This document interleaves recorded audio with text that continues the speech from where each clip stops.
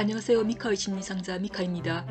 여기 있는 일본 사진은 주로 1920년대 초반에 버튼 홈즈가 찍은 것으로 미국 학생들에게 일본을 소개하는 여행기에 담긴 것입니다.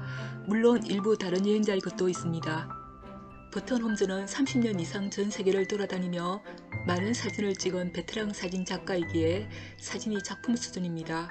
사진을 통해 알게 된 것은 사진이 현실보다는 작가를 반영하는 측면이 강하며 작가가 근사하게 찍으려면 얼마든지 그렇게 할 수 있다는 것입니다.